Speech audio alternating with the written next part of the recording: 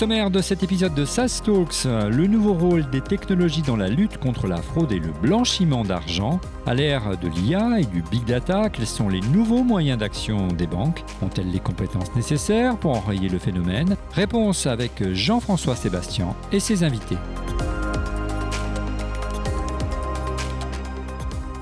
Bonjour à tous et bienvenue dans le podcast SAS Talks, le podcast de SAS dédié aux enjeux de la donnée, de l'intelligence artificielle et de l'analytique.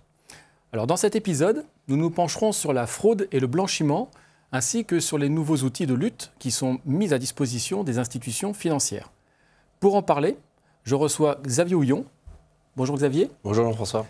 Euh, tu es expert délinquance financière de la réserve opérationnelle de la gendarmerie nationale. Et je reçois François. Bonjour, Bonjour. François. Donc François, expert banque et finance chez SAS France. Première question pour toi Xavier, sur l'actualité.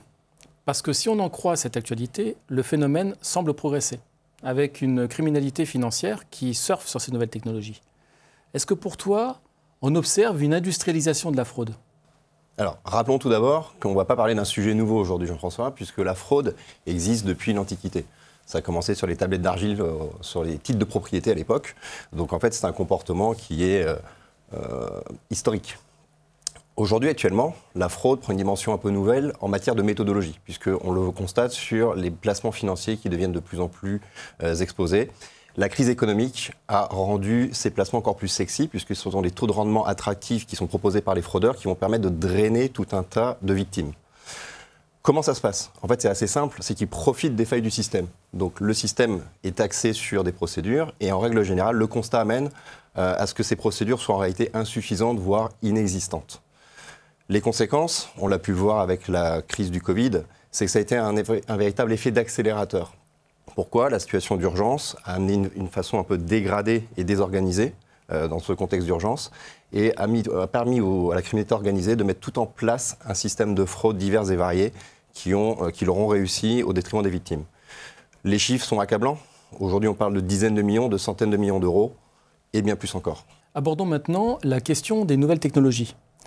Euh, L'omniprésence des nouvelles technologies dans nos vies et au travail, est-ce que ça a ouvert de nouvelles failles ou facilité cette euh, délinquance financière, François? Très clairement, très clairement. On l'a vu avec la crise du Covid, le besoin de résilience, de poursuivre l'activité, l'utilisation euh, notamment de produits plutôt grand public, a priori gratuits, qu'ont utilisé un certain nombre de salariés, d'entrepreneurs pour poursuivre leur activité, tout simplement.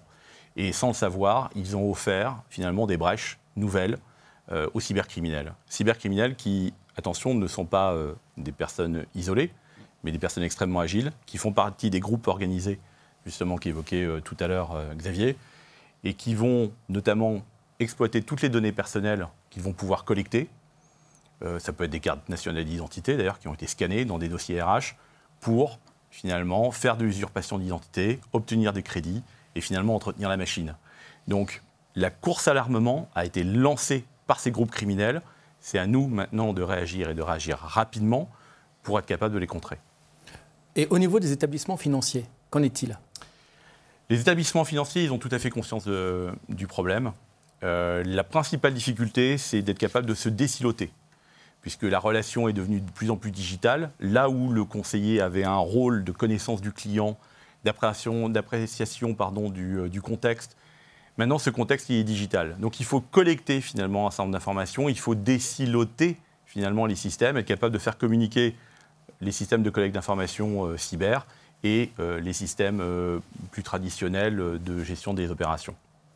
Alors, si on parle maintenant des nouvelles technologies qui sont liées à la donnée, Xavier, est-ce que euh, pour toi c'est un nouveau levier d'action, une opportunité pour lutter contre ce phénomène? Alors, c'est tout à fait une, véritable opportunité pour lutter contre ces nouveaux phénomènes. Néanmoins, il faut la resituer dans un contexte, la, data, la donnée ne peut pas tout traiter à elle seule. Euh, je prends un exemple très très simple. Lorsqu'on est dans un niveau de complexité fort euh, de schéma d'escroquerie et qui fait appel notamment de l'ingénierie financière, on peut avoir l'intégralité du schéma qui est euh, complètement légal en fait, en réalité. Sauf qu'en fait, c'est l'humain qui va permettre de déceler la notion d'abus de droit en disant bah, tiens, ça n'a pas de sens hein, d'un point de vue de l'intérêt économique ou fiscal. On va trouver les limites à ce montage et c'est ce qui va faire sens dans son interprétation. Cependant, la donnée va nous permettre de traiter des effets volumes. C'était lorsqu'on est aujourd'hui, ben, vous avez vu, on vit dans un monde dématérialisé, on est dans l'univers de la donnée, on a de l'information de partout. Euh, ce qui veut dire qu'il faut être capable de la traiter, il faut être capable de l'analyser, de la rassembler, de la renseigner, de l'enrichir. Ben, tout ça, c'est l'outil qui va le faire. Ça, c'est la plateforme qui va pouvoir permettre de traiter cette, information. Dans un second temps, il y a un effet temps qui est considérable et qui n'est pas neutre. Aujourd'hui, on sait très bien la difficulté en matière de coûts budgétaires d'avoir des ressources euh, ou d'avoir des enquêteurs ou d'avoir de l'humain pour pouvoir être derrière tous ces dossiers. La donnée va pouvoir permettre de faire un effet temps euh, réduit afin de dégager ces ressources plutôt des tâches à forte valeur ajoutée. Donc vraiment, le, traitement de la donnée, il est primordial. Aujourd'hui, on ne peut pas s'en passer. Ça serait une hérésie de penser qu'on peut se passer de la donnée. Cet effet volume et cet effet temps que permet de dégager le traitement de la donnée doit venir se coupler avec la synergie de l'expertise humaine. Et l'expertise humaine, elle a toute sa place, tant en amont qu'en aval du process, du traitement de la donnée. En amont, par le biais de la formation et par le biais des règles métiers qu'il va falloir implémenter dans l'outil. Et en aval, lors de l'analyse de l'interprétation pour recontextualiser les résultats issus du traitement de la donnée. Donc c'est à ce prix, uniquement de cette synergie, qu'on va pouvoir lutter contre la fraude et le blanchiment d'argent. Alors, tu abordes la question de l'humain. Donc ça, ça me plaît beaucoup et ça m'inspire une question parce que je, peux le constater sur le terrain. Des grands groupes financiers s'attaquent à la résolution de la fraude en passant essentiellement par des équipes DSI, Direction des systèmes d'information, ou analytiques. Qu'est-ce que tu en penses? J'en pense qu'aujourd'hui, l'humain doit rester au cœur de cette approche. Pourquoi? Parce qu'aujourd'hui, l'analytique va permettre essentiellement de pouvoir identifier, de traiter de façon, on va dire, automatisée, même si ce n'est pas un terme pour lequel je suis très partisan, euh, des schémas de fraude qu'on va dire d'une complexité plutôt légère ou intermédiaire, de premier et de second niveau, on peut appeler ça comme ça entre nous, euh, qui sont plutôt des fraudes massives orientées grand public, hein, qui vont se démultiplier et qui vaux se disperser un petit peu partout, quatre coins de la France. Pour autant, l'analytique permet à l'humain euh, de pouvoir donc dégager de la ressource. Et c'est cette ressource qui va permettre d'aller sur des schémas de fraude plus complexes. Et sur cette complexité, euh, on va retrouver en fait des schémas d'ingénierie qui vont faire appel à diverses matières. Donc on aura besoin de sachants. Euh, et c'est cette multitude d'expertise consolidée, et ça c'est important. Et je rejoins ce que disait François tout à l'heure sur le décilotage et le décloisonnement, qui va permettre de pouvoir identifier le schéma de fraude final.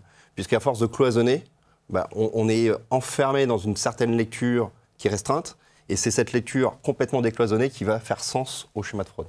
Alors ça d'ailleurs, ça nous amène du coup à la question des compétences. Hmm. Question pour vous deux. Est-ce que d'après vous, il faut recruter de nouveaux profils au sein du secteur bancaire? François, pour commencer. Rapprocher des nouveaux profils et désiloter. Rapprocher enfin, recruter des nouveaux profils tels que celui de, de Xavier. Il vient du monde de la banque, il a développé des savoir-faire en matière d'enquête et a su s'entourer d'un certain nombre d'expertises, justement, pour euh, créer des groupes pluridisciplinaires à des fins d'enquête. Ça, c'est extrêmement intéressant.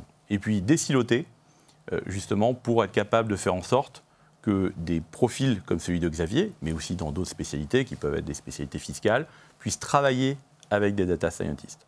Parce qu'aujourd'hui, n'oublions pas, on travaille sur des intelligences artificielles faibles, qui sont pensées à dessein. C'est avec justement les experts que l'on doit concevoir et sur la base justement d'expertise, ces systèmes de détection qui vont aider l'humain à mieux appréhender des situations complexes, risquées. Xavier, tu partages? Je partage complètement le point de vue et pour, euh, pour synthétiser ce que vient de dire François, en fait, les métiers d'avenir, ils vont être orientés sur la notion de cyber-enquêteur financier et euh, sur des cyber-analystes. Et ce, sont ces deux profils qui vont aujourd'hui permettre de pouvoir euh, à la fois traiter l'évolution de la donnée euh, dans l'écosystème qui est le monde financier, et à la fois de pouvoir apporter de la technique d'investigation qui permettra la résolution d'enquête, en tout cas de l'assistance à la résolution d'enquête.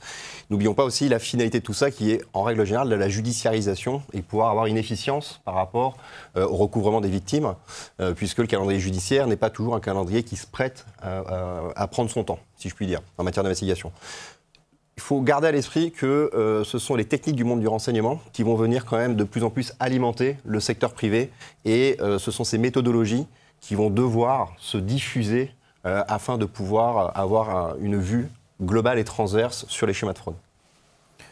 Alors, si vous le voulez bien, je vous propose de terminer par une dernière question pour toi, François, sur le marché.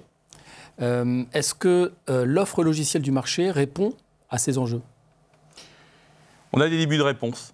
Mais clairement, aujourd'hui, il y a un véritable enjeu, c'est de faire cohabiter sur la même plateforme des profils qui sont très différents. Des profils qui viennent du monde de l'analytique, qui viennent des mathématiques, des statistiques, et des gens qui viennent du monde de l'enquête. Donc l'enjeu pour nous, c'est d'être capable de faire cohabiter justement sur un seul socle, de manière à assurer l'intégrité justement de l'enquête, bah, ces deux populations. Donc c'est un niveau d'exigence aujourd'hui qui est extrêmement élevé. Oui, aujourd'hui, des solutions existent. Merci. Merci, Jean-François. Pour conclure, je dirais que euh, pour préserver la confiance de ses clients et pleinement jouer leur rôle au sein de la société, les établissements doivent se transformer afin d'être à la hauteur des défis que notre société doit relever. Acteurs clés de ces transformations, les départements conformité deviennent finalement de vraies cellules de renseignement financier. Xavier, François, merci pour votre participation. Merci beaucoup. Merci Jean-François. Et je vous donne rendez-vous dans un mois pour un prochain épisode de SaaS Talks. Au revoir.